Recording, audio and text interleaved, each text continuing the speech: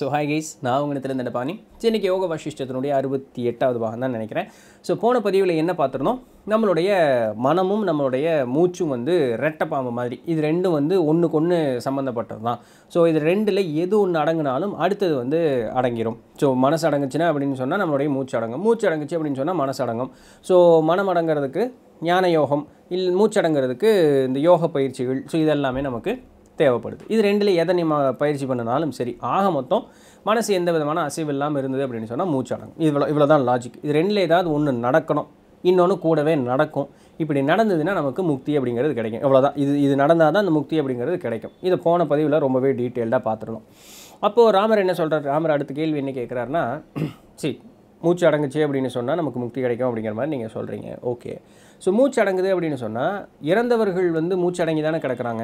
So அவர்களுக்கும் அந்த முக்தி அப்படின்னு சொல்லக்கூடிய அந்த நிலை வந்து வாய்க்கணும்ல அப்படின்னு ராமர் கேட்கும்பொழுது வசிஷ்டர் சொல்கிறார் கரெக்டு தான். ஆனால் சராசரியான மனிதர்களுக்கு அது வாய்க்க பெறுவது அப்படிங்கிறது இல்லை. காரணம் என்ன அப்படின்னு சொன்னால் இறந்ததற்கு அப்புறம் நம்மளுடைய உடல் அந்த மூச்சு அப்படிங்கிறது வந்து ஓடுவது நின்னாலும் கூட அதனுடைய செயல்பாடு அப்படிங்கிறது முழுமையாக முடிவடைவது அப்படிங்கிறது கிடையாது. அந்த பஞ்சபூத தத்துவத்தில் ஆகாய தத்துவத்தோடு போய் தன்னுடைய நிலைப்பாட்டை சேர்த்து நிறுத்திக்கும்.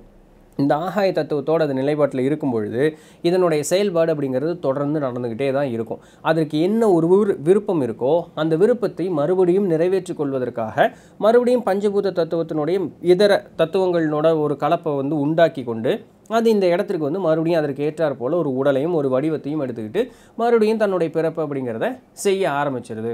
ஸோ இந்த பிராணனானதோ இல்லைன்னா மூச்சானதோ எது வேணாலும் சொல்லிக்கலாம். அது வந்து எப்போ அந்த பஞ்சபூத தத்துவத்தில் இருந்து முழுமையாக வெளிவிட்டு வெளியே வருதோ அன்னைக்கே இந்த முக்தி இல்லை மோட்சம் அப்படின்னு சொல்லக்கூடியது நமக்கு வாய்க்க பெறும். அது எப்போ நடக்கும்? யார் ஒருவனுக்கு ஞானம் வாய்க்க பெறுதோ அந்த ஞானம் வாய்க்க பெறும் பொழுது மனமானது இந்த பஞ்சபூத தத்துவத்திலிருந்து முழுமையாக விலகி வெளியே வரும் பொழுது அவர்களுக்கே பிறப்பு அப்படிங்கிறது இல்லை. காரணம் என்ன? வாசனைகள். வாசனைகள்னு வி- இருக்க விஷயங்கள் இருக்கக்கூடிய பிடிப்புகள். அது அவர்களுக்கு சுத்தமாகவே இல்லை. வாசனைகள் அப்படிங்கிறது இல்லை அப்படின்னு சொன்னால் இந்த பஞ்சபூத தத்துவத்தினோட அது சேர்ந்து இருக்கணும்னு சொல்லக்கூடிய அவசியம் அப்படிங்கிறது அதுக்கு இல்லை. அதனால அதற்கு அப்பாற்பட்டு மேலே போய் அந்த இறைத்தன்மை அப்படின்னு சொல்லக்கூடிய அந்த பிரம்ம நிலையோடு அது முழுக்க முழுக்க கலந்து நின்றுருது இவர்களுக்கு மட்டுமே பிறவி இல்லையே தவிர அதை தவிர்த்து இந்த மாதிரி ஞானமடையாதவர்களுக்கு கண்டிப்பாக இந்த பஞ்சபூத தத்துவத்தில் அந்த மூச்சானதோ இல்லை மனமானதோ நீங்கள் போய் எடுத்துக்கிட்டாலும் சரி அது வந்து அங்கே போய் ஒடுங்கி நின்றுரும் இதனால தான் நமக்கு பிறப்பு அப்படிங்கிறது தொடர்ந்து நடந்துக்கிட்டே இருக்குது இந்த மூச்சும் நம்மளுடைய மனமும் அப்படிங்கிறது வந்து தேரும் சாரதியும் போல். சாரதிங்கிறவங்க அந்த தேரோட்டி. தேரும் சாரதியும் போல் ரெண்டும் ஒரே ஒரு கோப்பில் தான் இருக்கும். ஒன்று இல்லாமல் இன்னொன்று இருக்காது. ஒன்று இல்லாமல் இன்னொன்று வேலை செய்யாது.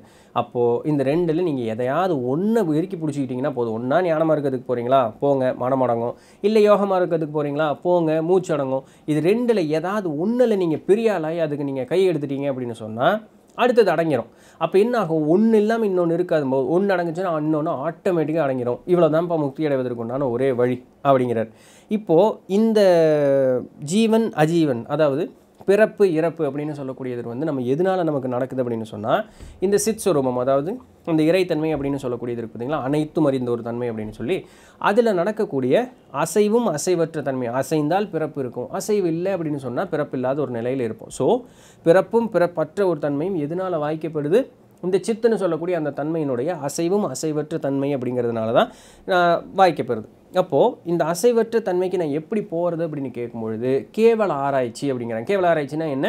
ஏதுமற்ற அந்த இறைத்தன்மை என்ன அப்படின்னு சொல்லி ஆராய்ச்சி செஞ்சு அதனுடைய தன்மையை உணர்ந்து அதன்பாலே நம்ம நிற்கக்கூடிய அந்த ஒரு நிலைப்பாடு அப்படின்னு பார்த்தீங்களா அந்த ஒரு நிலைப்பாடு வரும்பொழுது இந்த சித்தானது அசைவற்று ஒரு நிலைக்கு போகும். இதுக்கு ஒன்றும் நீ வந்து மணிக்கணக்காக அந்த இடத்துல இருக்கணும் அதை புரிஞ்சுக்கணும் அப்படிங்கிற அவசியம் கிடையாது. ஒரே நொடிப்பொழுது இதே வார்த்தையை அவர் சொல்கிறார் ஒரு நொடிப்பொழுது நீ அது என்னங்கிறத அந்த ருசியை நீ சோச்சிட்ட அப்படின்னு சொன்னால் உனக்கு போகிறதுக்கு உண்டான தடமும் அது என்ன அப்படிங்கிறது உனக்கு தெரிஞ்சிடும் அப்போ நீ அடிக்கடி அடிக்கடி அந்த இடத்த இடத்துக்கு போயிட்டு வந்துக்கலாம். ஒன்ஸ் நீ அந்த இடத்துக்கு போய் பழகிட்டேன்னா நீண்ட நேரத்துக்கு நீ அதே இடத்துல இருக்கிறதுக்கு பழகிக்கலாம். அவ்வளோதான் நீ தேவைப்படக்கூடியதெல்லாம் உன்னோட எண்ணத்தை எந்த அளவுக்கு எவ்வளோ தூரத்துக்கு ம- அமைதியே இருக்க வைக்கிறியோ அந்த அளவுக்கு நீ வந்து அந்த இறைத்தன்மை அப்படிங்கிறத நெருங்கிக்கிட்டே போயிட்டே இருக்க. ஒன்ஸ் நீ அதை டச் பண்ணி அது என்னன்னு நீ ஃபீல் பண்ணிட்டே அப்படின்னு சொன்னால் நீ அதுக்கப்புறம் திருப்பி ஈஸியாக அந்த இடத்துல போயிட்டு வந்துடலாம். அதுக்கப்புறம் உனக்கு பிளாக்கேஜ் அப்படிங்கிறது இருக்கவே இருக்காது. பார்த்து வந்து ஈஸியாக கிளியர் ஆயிரும்.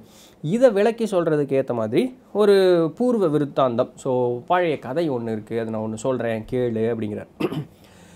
விந்தி மலைசாரலில் வந்து ஒரு அடர்ந்த காட்டில் ஒரு வேதாளம் இருந்தான். அந்த வேதாளம் பார்த்தீங்க அப்படின்னு சொன்னால் நல்ல ஞானவான்களும் நல்ல குணவான்களையும் கூடி சேர்ந்து அவர்கள் கூட அந்த வா அதனுடைய வாழ்க்கையும் இருந்த ஒரு காரணத்தினால அவர்களும் அவர்களுக்கு போலவே அவர்களுக்கு ஒப்பாவே இதனுடைய குணாதிசயங்களும் இருந்தது. எந்த விதமான ஒரு நீதி நெறி தவறாமல் அந்த வேதாளமும் தன்னுடைய வாழ்க்கையை சீரும் சிறப்புமாக அப்படியே அதனுடைய வாழ்க்கையை அப்படியே கடத்திட்டு வந்துட்டு இருந்தது. ஒரு நாள் பார்த்தீங்க அப்படின்னு சொன்னால் அந்த வேதாளத்துக்கு பயங்கர பசி கொடுமையான ஒரு பசி. அப்போ அந்த பசியை தீர்த்து கொள்வதற்காக யாராவது ஒரு உணவு வேணும் அப்படிங்கிறதுனால அது அப்படியே காட்டில் அலைஞ்சு தெரிஞ்சு போய் அந்த ஊரினுடைய எல்லைக்கு வந்து அது போய் நிற்கிது ஸோ அதனுடைய எல்லை வழக்கமாக ஒரு ஊரில் இருக்க அந்த வேதாளம் அந்த ஊரை விட்டு தாண்ட முடியாதுன்னு சொல்லுவாங்க. இது நான் கேள்விப்பட்டது பட் எனவே ஸோ அந்த எல்லைக்கு போய் நிற்கிது எல்லையில் போய் நிற்கும் பொழுது தூரத்தில் ஒரு யாரோ ஒரு உருவம் வர மாதிரி இருக்குது பார்க்கும்பொழுது ஒரு நல்ல வளர்ந்த ஒரு கட்டுமஸ்தான் ஒரு ஆடவன் அந்த இடத்த அப்படி நோக்கி அந்த எல்லைக்குள்ளே வந்துக்கிட்டு இருக்கான். அப்போ இந்த வேதாளம் வந்து ஆஹா இன்னைக்கு எனக்கு இறை சிக்கிடுச்சுடா அப்படின்னு சொல்லிட்டு பயங்கர சந்தோஷத்தில் ஒரு ஆர்ப்பரிச்சுட்டு அந்த ஆள் பக்கத்தில் வரும்பொழுது அவனை வந்து பயமுறுத்தி அவனை அநியாயமாக கொள்றதுக்கு அதுக்கு விருப்பம் இல்லை. பிகாஸ் அது நல்ல ஒரு குணம் இருக்குது அந்த வேதாளம் அப்படிங்கிறதுக்கு. அதனால அந்த ஆடவனை தடுத்து நிறுத்தி அதனோட எண்ணத்தை வந்து அவங்ககிட்ட சொல்லுது. எனக்கு வந்து பயங்கர பசி. நான் இப்போ உன்னை சாப்பிட போகிறேன் இருந்தாலும் உன்னுடைய அந்த விருத்தாந்தம் உன்னுடைய அந்த ஒரு ஞானமும் உன்னுடைய அந்த கொள்கைகளும் கோட்பாடுகளும் என்னன்னு சொல்லு. நான் தெரிஞ்சுக்கிறதுக்காக அதை வந்து நான் கேட்குறேன் அப்படின்னு சொல்ல. அந்த வந்தவன் வந்து ஏப்பச்சேப்பையான ஒரு ஆள் கிடையாது. லேசுப்பட்ட ஒரு ஆள் கிடையாது. அந்த எல்லையினுடைய அரசன் அந்த அந்த வந்த ஆள். அப்போது அங்கே வந்து அந்த துஷ்டர்கள் சரி யாராவது இந்த வேண்டாத ஆட்கள்லாம் இருப்பாங்க பார்த்திங்களா அவர்களை தேடிட்டு வந்த அரசன்கிட்ட தான் இந்த வேதாளம் கூப்பிட்டு நிறுத்தி வச்சுட்டு பேசிகிட்டு இருக்கு அவன் வந்து சும்மா அந்த அந்த அதான் சொன்னமே ஏப்பச்சேப்பையான ஒரு ஆள் கிடையாது. நல்ல ஒரு தீரன் நல்ல ஒரு குணசாலியும் கூட கூடவே நல்ல ஒரு ஞானவானும் கூட. அப்போது அந்த வேதாளம் வந்து தொடர்ந்து சொல்லிகிட்டே இருக்கு. நீ வந்து நான் ஒரு சில கேள்விகள் கேட்பேன். அந்த கேள்விகளுக்கு நீ பதில் சொல்லிட்ட அப்படின்னு சொன்னால் என்னுடைய மனசை நான் வந்து மாற்றிக்கிறேன் அப்படி பதில் சொல்லலை அப்படின்னு சொன்னால் நான் உன்னை சாப்பிட்ருவேன் காரணம் என்ன?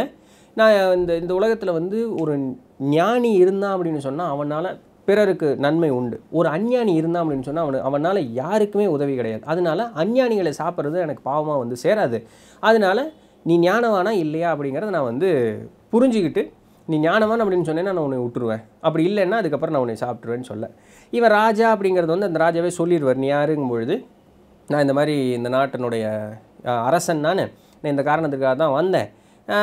அப்படின்னு சொல்லிவிட்டு நீ அவ்வளோ மோசமான ஒரு ஆளெல்லாம் இருக்க மாட்டேன். ஏன்னா அநியாயமாக நீ எந்த ஒரு விஷயத்தையும் பண்ண மாட்டேன் அப்படின்னு நான் நம்புகிறேன்னதுக்கப்புறம் தான் வேதாளந்த விஷயம் சொல்லும். ஆமாம் ஆமாம் நான் அநியாயமெல்லாம் பண்ண மாட்டேன்.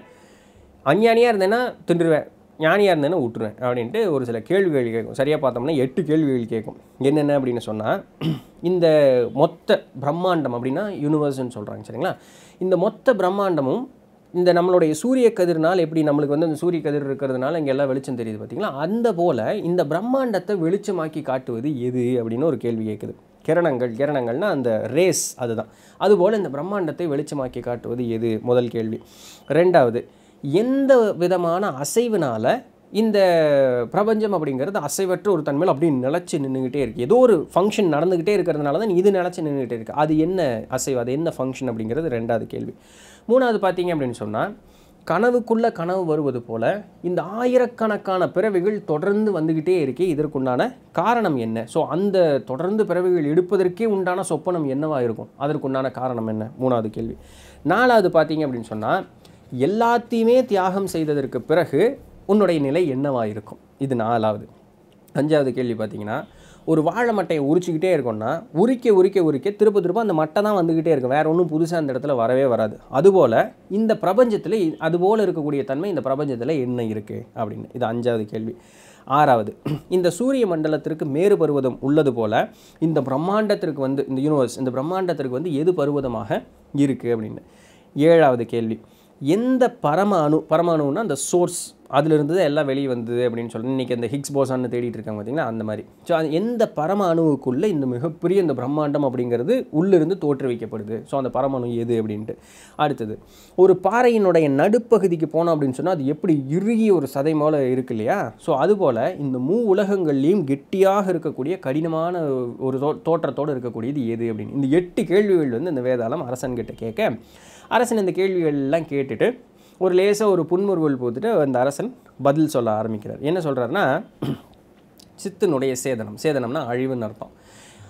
இந்த சித்தினுடைய தன்மை மாறும் பொழுது தான் இந்த மிகப்பெரிய ஒரு பிரம்மாண்டம் அப்படிங்கிறது ஒன்று ஏற்படுது. இந்த பிரம்மாண்ட் மிகப்பெரிய ஒரு பிரம்மாண்டத்தை ஒரு பழம் போல் நம்ம வச்சுக்குவோம். இதுபோல் ஆயிரக்கணக்கான பழங்களை தாங்கி இருக்கக்கூடிய ஒரு கிளை அப்படிங்கிறது ஒன்று இருக்குது இதுபோல் ஒரு ஆயிரக்கணக்கான கிளைகளை தாங்கி இருக்கக்கூடிய ஒரு மரம் அப்படிங்கிறது ஒன்று இருக்குது இதுபோல் ஆயிரக்கணக்கான மரங்களை தாங்கி இருக்கக்கூடிய ஒரு காடு அப்படிங்கிறது ஒன்று இருக்குது இதுபோல் ஆயிரக்கணக்கான காடுகளை தாங்கி இருக்கக்கூடிய ஒரு மலைப்பிரதேசமும் இதுபோல் ஆயிரக்கணக்கான மலைப்பிரதேசங்கள் தாங்கி இருக்கக்கூடிய ஒரு பூமியும் இதுபோல் ஆயிரக்கணக்கான பூமிகளை தாங்கி இருக்கக்கூடிய ஒரு சூரிய மண்டலமும் இதுபோல் ஆயிரக்கணக்கான சூரிய மண்டலங்களை தாங்கி இருக்கக்கூடிய இந்த பிரம்மாண்டமும் இருக்குது இந்த பிரம்மாண்டமும் பார்த்தே அப்படின்னு சொன்னால் அநேகம் இந்த அதாவது இந்த யூனிவர்ஸ் அவங்க மல்டிவர்ஸ் பற்றி பேசிக்கிட்டு இருக்காங்க. நம்மளால எப்போ எழுதின நூல்னே தெரியல. மல்டிவர்ஸ் சொல்லிகிட்டு இருக்காங்க பாருங்க. இன்றைக்கி என்ன வெள்ளக்காரன் சொல்கிறது இந்த மாதிரி இருக்கக்கூடிய பிரம்மாண்டங்களும் அநேகம் அது எவ்வளோ இருக்குன்னே தெரியல. அநேகம்னா எவ்வளோ இருக்குன்னே தெரியல. அவ்வளோ அதிகமாக இருக்குது இப்படிப்பட்ட இந்த பிரம்மாண்டம் அப்படி அத்தனை பிரம்மாண்டங்களுமே இந்த பரம அணுவுக்கே பரமணுவாக கருதக்கூடிய அந்த சித்துன்னு சொல்லக்கூடிய அந்த தன்மைக்குள்ளே தான் இருக்குது அதனுடைய சொரூபம் தான் இவ்வளவு பெரிய இந்த பிரம்மாண்டம் அப்படின்னு சொல்லக்கூடியது.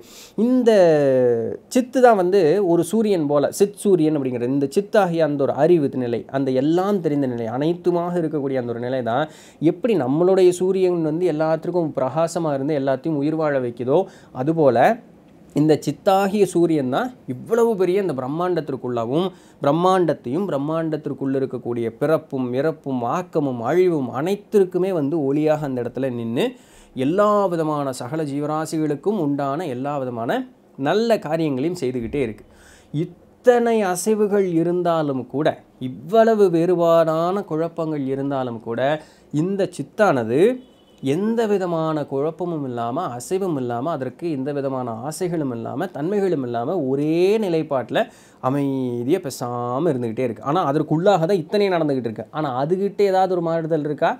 இல்லை. இதுதான் இந்த சித்ஸ்வரூபம் அப்படின்னு சொல்லக்கூடியது. இந்த நடக்கக்கூடிய மாறுதல்கள் மூன்று வகையான மாறுதல்களாக சொல்லக்கூடியது. அதாவது சத் சத்துனா உருவம்னு அர்த்தம்.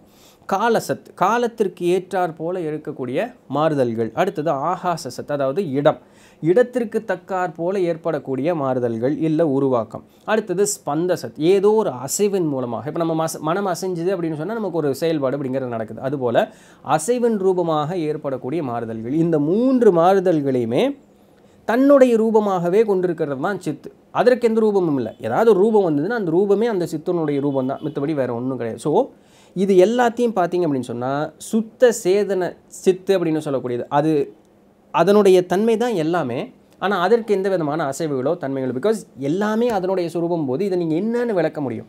இதுபோல் அப்பாற்பட்டும் எல்லாத்திற்கும் கடந்து எல்லாத்தையும் தன்னகத்தே கொண்டிருக்கக்கூடிய அந்த சித்தாகி அந்த இறைத்தன்மை அப்படிங்கிறது தான் நீ பார்க்கக்கூடிய இந்த அண்ட சராசரமும் அகிலண்டமும் இந்த பிரம்மாண்டமில் இருக்கக்கூடிய எல்லாமே அது நீ வெள்ளையில்லாது பறந்து பிரிஞ்சு போய்கிட்டே இருந்தாலுமே அதுகிட்ட எந்த விதமான அசைவோ மாற்றமோ இருக்காது. ஆனால் அதற்குள்ளாக தான் இத்தனை மாறுதல்களும் மாற்றங்களும் இட- நடந்துக்கிட்டே இருக்குது இதற்கு ஆக்கமும் இல்லை அழிவும் இல்லை தொடக்கமும் இல்லை முடிவும் இல்லை இது எல்லாமாவுமே இருக்கக்கூடியது. அப்போது நீ இங்கே பார்க்க இதெல்லாம் இருக்குன்னு சொல்கிறது உன்னுடைய அறிவினுடைய மயக்கம் தான் இது இருக்குன்னு சொல்கிறது இதுன்னு நீ சுட்டி காட்டுற பற்றியா அது உன்னுடைய அறிவினுடைய மயக்கம் தான் ஒன்ஸ் நீ அந்த இறைத்தன்மையை அந்த சித்துங்கிறது புரிஞ்சுக்கிட்டீங்கன்னா அங்கே இதுன்னு சொல்லக்கூடிய தன்மை இருக்காது. ஏன் ஏன்னா எல்லாமாவுமே இருக்கிறது அந்த ஒன்றே ஒன்று தான் அப்போ இதுன்னு சொல்லக்கூடிய இந்த பிரம்மாண்டம் இது அது இதுன்னு சொல்லக்கூடிய அந்த ஒரு தன்மை இருக்காது. ஸோ அது அந்த அறிவினுடைக்கு அப்பாற்பட்டு இருக்கக்கூடிய அந்த ஒரு நிலை. இவ்வளவு தான் அப்படிங்கிறார். அப்போது ஓ வேதாளமே ஒரு பாலகன் போல் அறிவு இருக்கக்கூடிய உனக்கு இவ்வளவு விஷயங்கள் எப்படி புரியும் அப்படின்னு ராஜா சிரிச்சுக்கிட்டே கேட்டாராம். அந்த வேதாளத்தினால் அதுக்கு மேலே என்ன பேசுறது அப்படின்னு தெரியல. மறுமொழி பேச முடியல. பிகாஸ் அவர் சொன்னது எல்லாமே சரி.